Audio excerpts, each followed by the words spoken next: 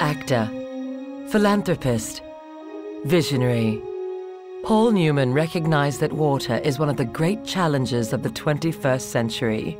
He joined forces with two titans of industry, John Whitehead, former chair of Goldman Sachs, and Josh Weston, former CEO and chair of ADP. Safe Water Network was one of the most important things I think that he started. And the mission shall be to create an example of how to install water stations that are sustainable over time. They were these unlikely partners coming together and just creating great things. He told us that millions of children died every year because of a lack of safe drinking water. What we do with Safe Water Network is address a colossal public health problem. 17 countries are currently facing extremely high water stress. Victoria Sura lives on the outskirts of Juba City. Every day, she struggles to get water. This burden of gathering water each day falls disproportionately on millions of women and children around the world. For Theodora, that journey was not only difficult, it was dangerous. During dry season, we normally suffer a lot from a water problem. You have only one well that we all depend on. Working here sometimes becomes a very big headache when it comes to water. Normally, when you are going there dawn, it's very scary. Theodora and the other families of New braved this one and a half kilometer journey for contaminated water six times a day.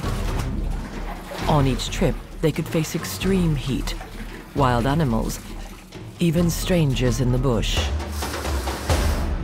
A few months ago, Safe Water Network helped Theodora's village open a small water enterprise. Now that Safe Water is around, just getting your card and going to the ATM to just get a clean water anytime, even at dawn. Safe Water Network is providing support and training in New Ajena to keep safe water flowing long term. We are grateful for what they have done for us. Correct.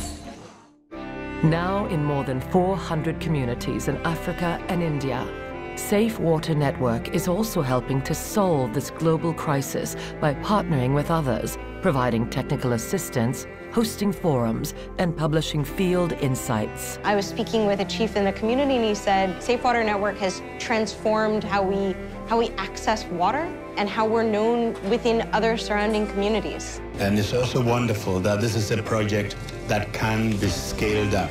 To see what is happening in this community gives me hope that we can offer clean water all around the country.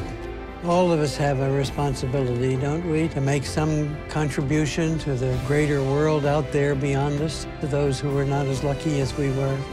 Just one person can make a big difference, as Paul did. What could be better than to hold your hand out to people who are less fortunate than you are?